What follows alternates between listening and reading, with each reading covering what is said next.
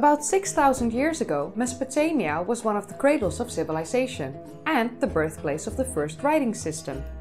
In the fertile valley between the rivers Tigris and Euphrates, the earliest cities arose. Among them was the city Uruk. The city was associated with the sky god Anu, the chief deity of the Sumerians, and near the center of the city the inhabitants built a temple, which towered above the fortification wall.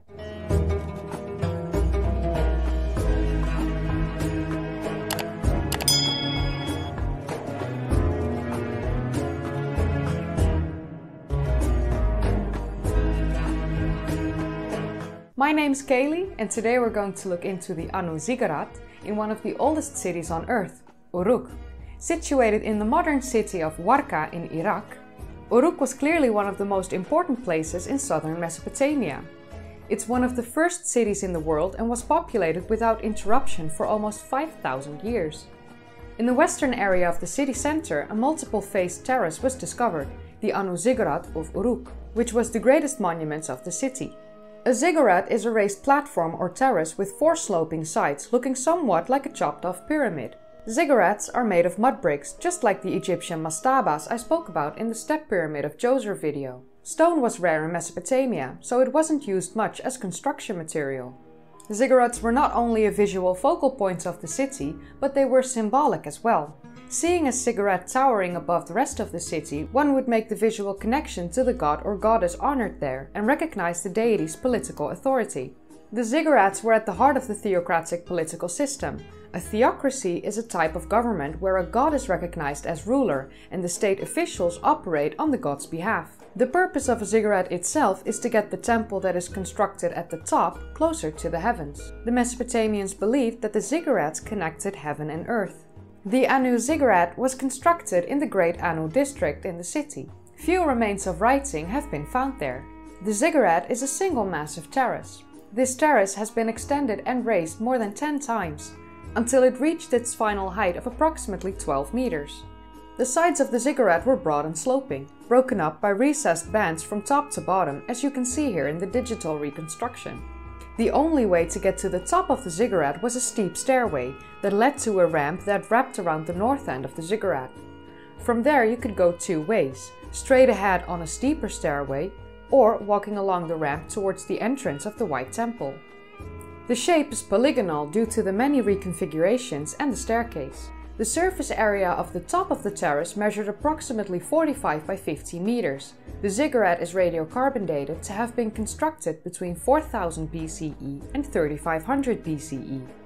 The surface of the top was coated with bitumen, a tar or pitch-like material, similar to what is used for road paving in modern times.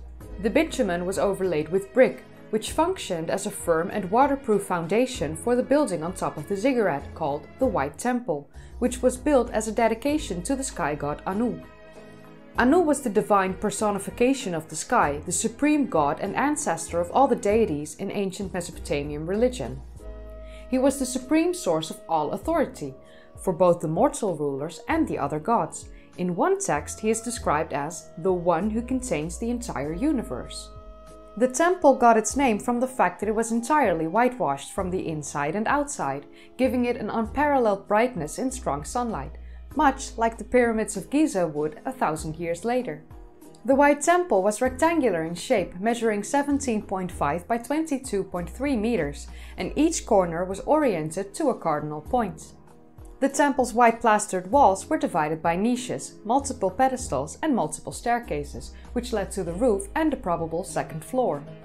It's a typical Uruk-hai temple with a three parts plan, also known as a tripartite plan, a long rectangular central hall with rooms on either side. The White Temple had three separate entrances, none of which faced the ziggurat's ramp directly. Visitors would have needed to walk around the temple, being in awe of the grand and bright facade and the powerful views. They most likely gained access to the temple in a bent axis approach, where one would have to turn 90 degrees to face the altar, which was a typical arrangement in ancient Near Eastern temples. The north, west and east corner chambers of the building contained staircases.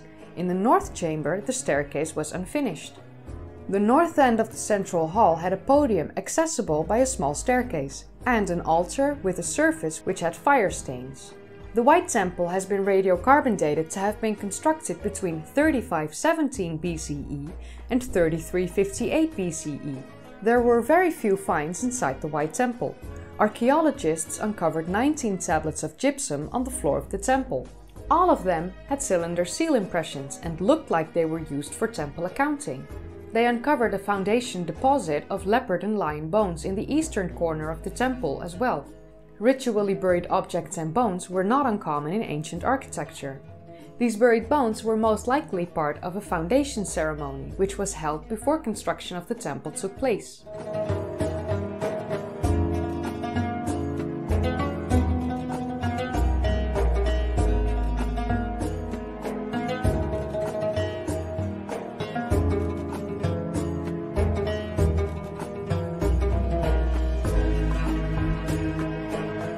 To the north of the White Temple was a broad flat terrace. At the center of this terrace, archaeologists found a huge pit with traces of fire of approximately 2.2 by 2.7 meters. But more interestingly, they discovered a system of shallow bitumen-coated conduits which ran from the southeast and southwest terrace edges and entered the temple through the southeast and southwest doors. Archaeologists believe that liquids like water would have flowed from the terrace all the way inside the temple to collect in a pit in the center hall of the temple. Under the northwest edge of the base of the ziggurat, archaeologists discovered an older structure named the Stone Temple. The Stone Temple was built from limestone and bitumen on a podium of rammed earth and plastered with lime mortar. The stone temple was eventually ritually destroyed and covered with layers of clay, reed and stone, and was later excavated and filled with mortar before the Anu ziggurat was built on top of it. The excavators of the White Temple estimate that it would have taken 1500 people working an average of 10 hours a day for 5 years to have built the stone facing of the massive surface area on top of the ziggurat on which the White Temple eventually was built. Religious belief may have inspired participation in constructing such a massive project. However, there is no doubt that any form of forced labor or slave labor was involved in construction as well. The sky god Anu was, as previously mentioned, the ancestor of the Anunnaki, who were the major deities in Sumerian religion. The primary center of the Anunnaki religious following was the Eanna district of Uruk. This district was younger than the Anu district, but it was historically significant as both writing and monumental public architecture emerged here.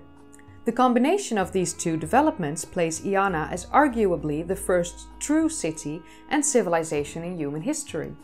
The first examples of cuneiform writing was found in the Eanna district.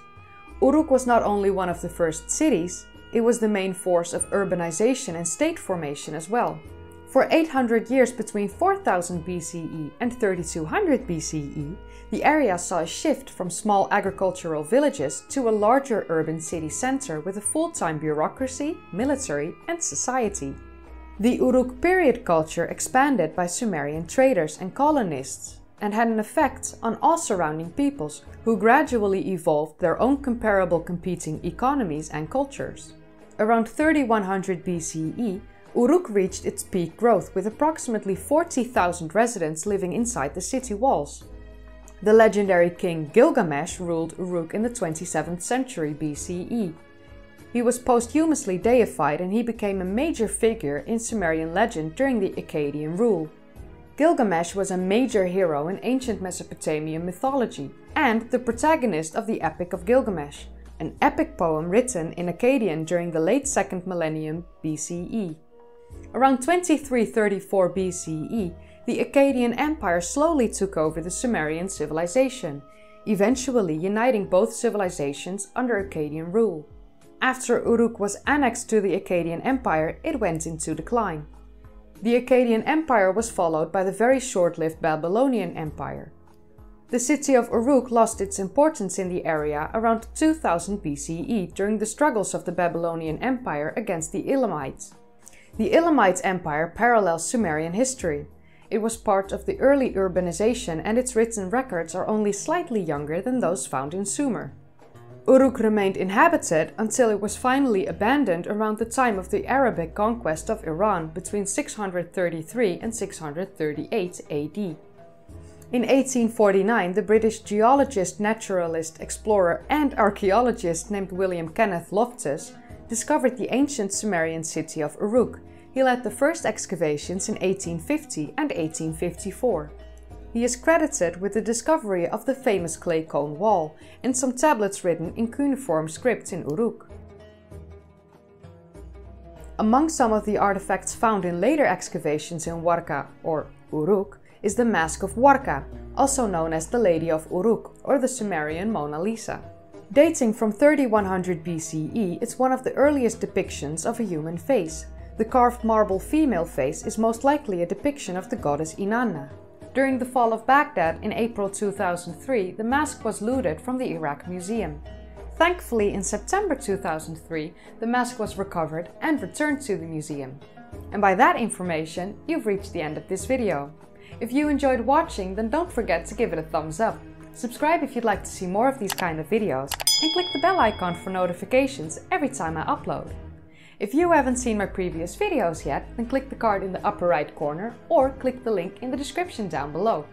I also want to thank my Patreons Richard, Barry and NGC6543. Support me on Patreon in the future so I can make more videos. Thanks for watching and I'll see you in the next one.